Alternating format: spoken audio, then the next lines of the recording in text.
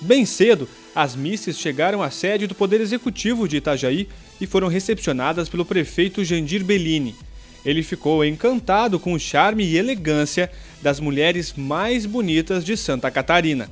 Eu queria dizer que Itajaí se sente muito honrado em sediar aqui a escolha da Miss Santa Catarina. Aliás, Itajaí tem sido a cidade escolhida para grandes eventos. E a escolha da Miss Santa Catarina também é um grande evento, porque é um concurso que define a beleza da mulher catarinense.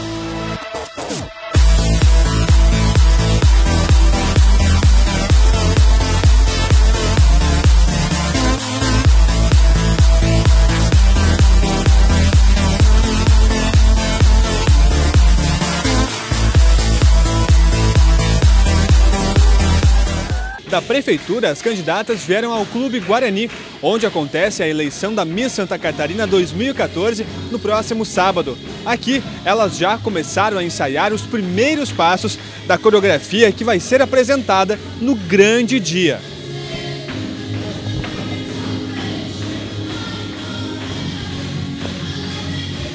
A música é muito escolhida pelo Túlio Cordeiro, é muito empolgante.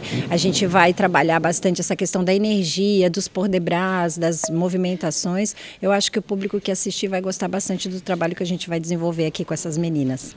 Até o dia do concurso, as misses precisam cumprir uma agenda cheia de compromissos, que conta com desfiles, visitas, prova de roupas e, é claro, muitos ensaios.